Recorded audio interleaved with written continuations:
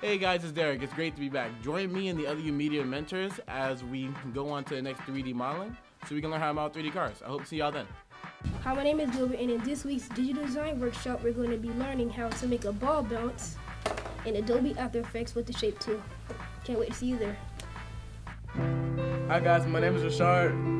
And I'm David. In the next intro to workshop, we'll be learning how to play the piano. Don't miss it. See you there.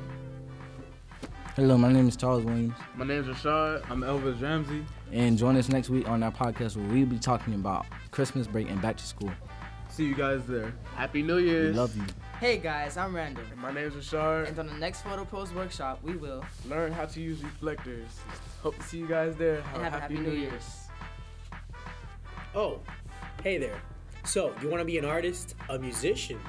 Well, do you got social media presence? Have you branded yourself?